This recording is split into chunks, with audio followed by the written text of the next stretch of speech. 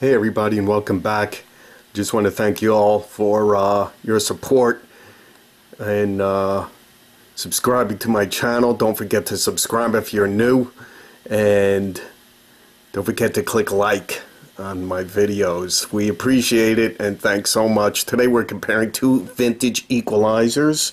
One is a little bit older than the other. The uh, Parasound EQ F210 S. S stands for silver because they made it in black and silver. It's got nice little rock handles on there.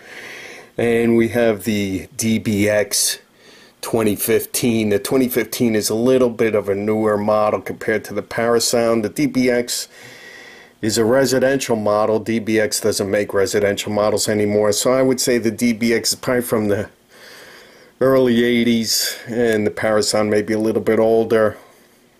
Uh, not by much though.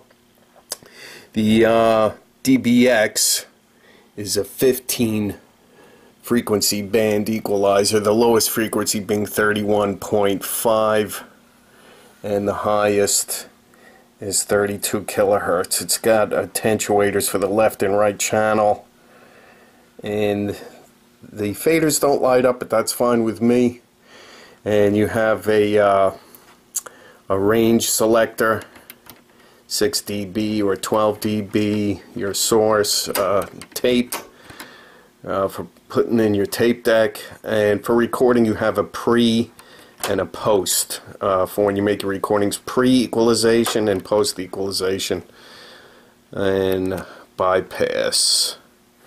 Very well made in Japan.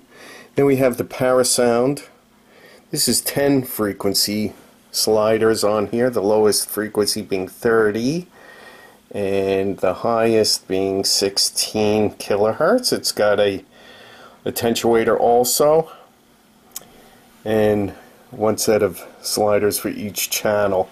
It also has bypass so you could uh, include the equalizer or not in your loop.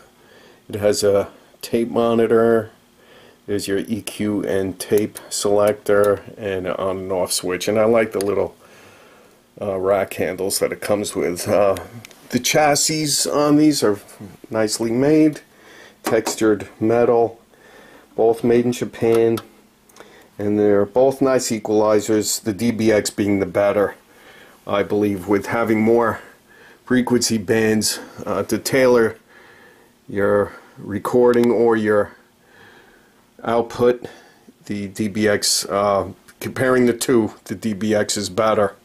Parasound's okay, DBX better. Alright folks, thanks for viewing. Don't forget to subscribe and click like on my video. And we'll see you again real soon on another vintage stereo review or a gadget review. Thanks again. See you soon.